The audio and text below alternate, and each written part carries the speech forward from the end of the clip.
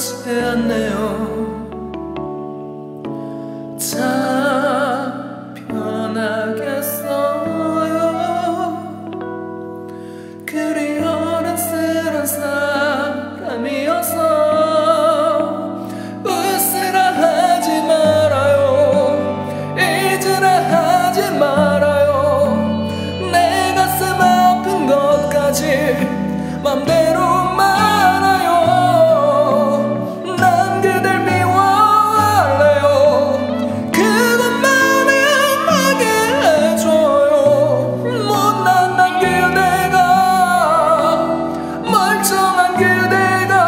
될지도